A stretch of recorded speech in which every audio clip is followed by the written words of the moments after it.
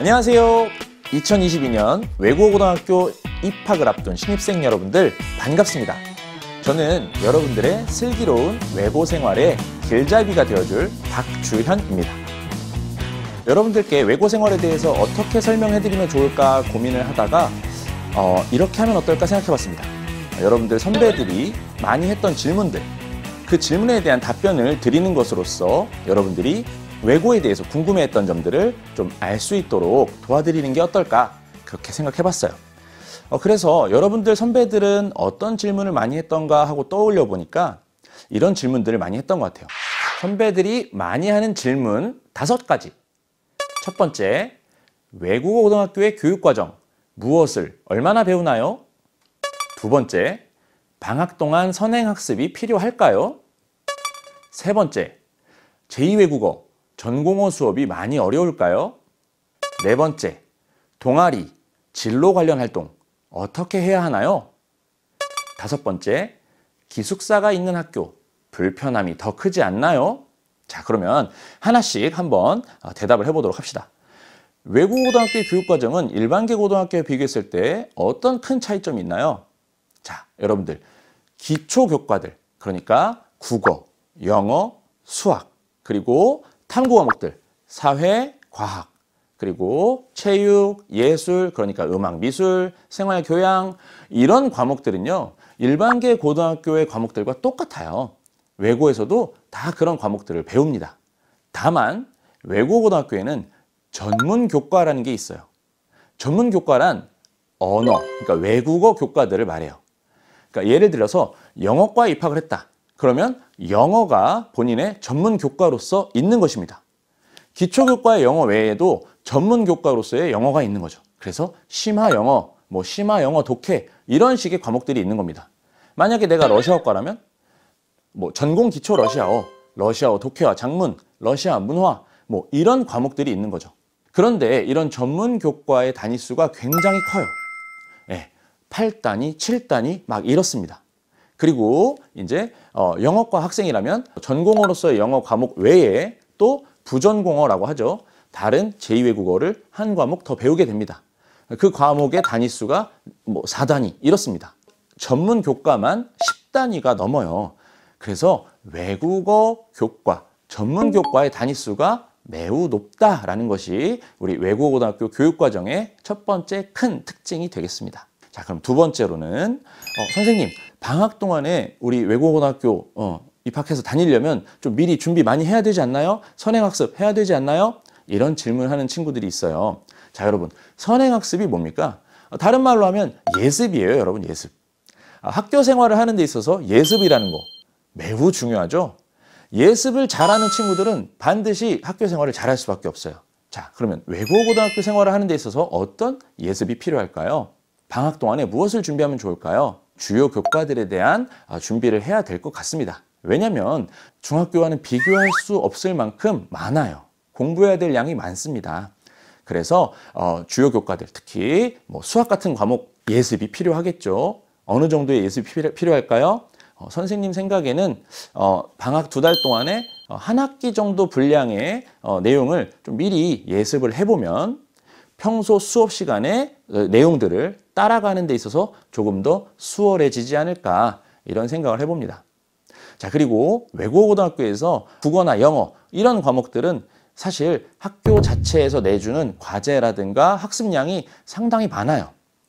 어, 그래서 그것을 따라가는 것만으로도 충분히 여러분들이 바쁠 거예요. 특히 영어 같은 과목은 어, 외국어 고등학교인 만큼 그 텍스트의 어떤 내용이라든가 이런 것들이 쉽지 않겠죠.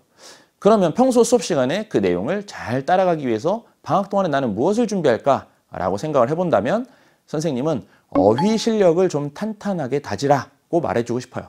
독해하는 데 있어서 어, 많은 어려움을 겪지 않도록 준비하는 거 필요할 것 같습니다. 자 그러면 이제 세 번째 질문이에요. 어, 선생님 전공어 저 이번에 처음 배우는데요. 특히 예를 들어서 뭐 스페인어, 러시아어, 프랑스어, 독일어, 일본어, 중국어 이런 것들을 내가 중학교 때 배운 적이 없어요. 선생님, 전공어 많이 중요하다고 하셨잖아요. 단위가 매우 크다고 하셨잖아요. 저희 이거 어떻게 준비할 수 있나요? 어, 아무것도 준비 없이 학교 입학해서 따라갈 수 있나요? 이렇게 질문하는 친구들도 있을 것 같아요. 당황스럽죠? 그런데 여러분들이 그렇게 당황스러워하고 있다는 것을 학교 선생님들도 알고 계십니다. 외국어고등학교에 훌륭한 전공어 선생님들이 계실 거예요. 그 선생님들께서 여러분들의 그 당황스러움, 아, 새로운 언어를 배우는 데 있어서 어, 두려움, 이런 것들 다 이해하고 계십니다. 여러분들 선배들도 그렇게 두려워하면서 당황해하면서 공부하기 시작했고요. 정말 기초부터 차근차근 여러분들한테 설명해 드릴 겁니다. 여러분들은 수업 시간에 배운 내용을 가지고 어, 차근차근 복습하면서 반복 학습하면서 따라가셔도 충분히 해내실 수 있을 거라고 저는 생각을 해요.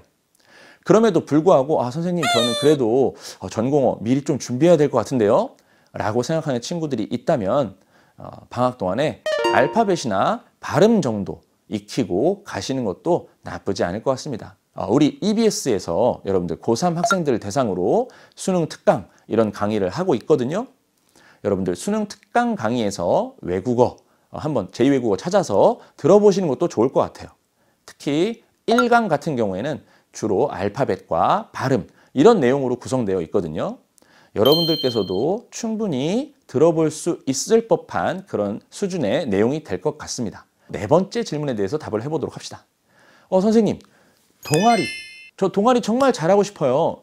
외국어 고등학교에는 정말 다양한 그 동아리들이 있다고 하는데 그거를 진학, 진로와 연결시켜서 잘 하는 게 우리 생활기록부를 쓰는 데 있어서 아주 중요하다라고 말을 하는데 어, 정말 이 동아리 활동 어떻게 해야 되나요? 이런 질문들도 많이 합니다. 어, 여러분 맞아요. 우리 이제 어, 생활기록부 작성하는 데 있어서 우리가 이른바 창의적 체험 활동이라고 하는 자율, 진로, 봉사, 동아리 이런 활동들 중요합니다. 아, 그런데 여러분들 외고에 입학하셨으면 분명히 그 외고 자체에 자율 진로 프로그램들 다양하게 재미있게 잘 구성되어 있을 거라고 선생님은 생각해요. 그래서 학교에서 만들어준 자율 진로 프로그램을 잘 따라가되 여러분들의 진학 진로에 대해서 너무 편협하게 어 나는 무슨 과 갈 거야 그러니까 앞으로 진로 희망은 뭐여야 되고 그 그거에 맞춰서 나는 동아리 활동 뚝뚝뚝 다 어떻게 맞춰서 할 거야 이렇게 너무 편협하게 생각하지 않으셔도 좋을 것 같아요. 왜냐하면 동아리라는 게 인원이 한정되어 있고 그러다 보면 여러분들이 꼭 원했던 그, 그 동아리에 꼭 들어가지 가입하지 못할 수도 있어요 여러분. 그렇다고 실망하면 됩니까? 아닙니다 여러분. 여러분 그런 말이 있어요. 잘못된 길이 지도를 만든다.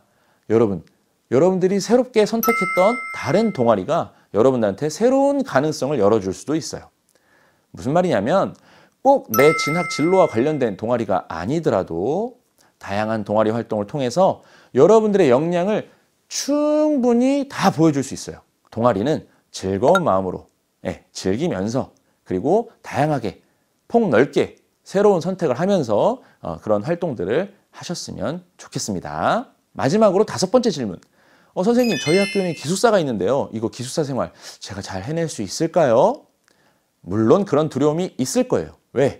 지금까지 여러분들 살면서 어, 부모님 떠나가지고 혼자 생활한 적 그렇게 많지 않았을 거예요. 이렇게 장시간 동안 부모님을 떠나서 있다는 거 예, 쉽지 않은 일이 되겠죠. 그런데 여러분들 기숙사에는 여러분들 말고 또 누가 있습니까? 그렇죠. 룸메. 바로 여러분들의 친구들이 있습니다. 자, 룸메들과 함께 생활을 한다면 집에서 생활하는 것보다 훨씬 더 즐거울 수도 있고요. 생각보다는 훨씬 부드럽게 기숙사 생활에 잘 적응할 수 있을 겁니다.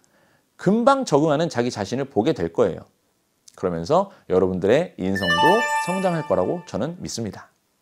그리고 기숙사와 학교는 매우 가까운 거리에 붙어 있기 때문에요. 선생님 생각에는 음, 단점보다는 이점이 더 많지 않은가 이런 생각도 해봅니다. 자 이렇게 다섯 가지 어, 자주 하는 질문들에 대해서 선생님이 한번 어, 간단하게 답변을 해봤어요. 선생님이 뭐 방송 처음에 깜빡했는데요. 사실 여러분들한테 축하하는 인사를 잊었어요. 여러분들, 여러분들이 진짜 꿈꾸던 외고에 입학하신 거를 진심으로 축하드려요. 이제 여러분들은 더 이상 중학생이 아니고 고등학생이 되었네요. 여러분, 인생에서 한 챕터를 끝냈다라는 것은 또 새로운 챕터를 시작한다라는 말이기도 해요. 어, 새로운 챕터를 시작하면서 아마 새로운 도전, 새로운 어려움, 새로운 장애물과 마주치게 되는 순간들도 분명히 있을 겁니다. 그런데 여러분, 선생님은 이렇게 생각해요. 우리 인간이 하는 일에 있어서 한계란 없다. 네, 어느 한 예능 프로그램에서 이런 말을 하더라고요.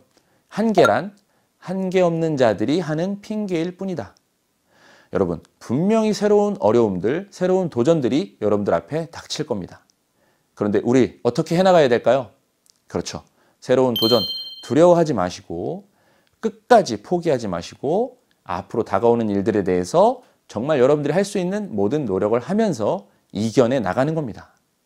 그러면 여러분들의 앞에 있는 이 외국어고등학교에서의 미래 생활에 있어서도 성공의 역사를 여러분들 스스로 써나갈 수 있을 거라고 선생님은 믿어요. 이제 여러분들은 진짜 고등학생이 되었습니다. 슬기로운 외고 생활, 성공적인 외고 생활, 즐거운 외고 생활, 행복한 외고 생활. 여러분들의 성공적인 외고 생활을 제가 응원하고 있겠습니다. 외고에 입학하는 신입생 여러분, 화이팅입니다. 안녕!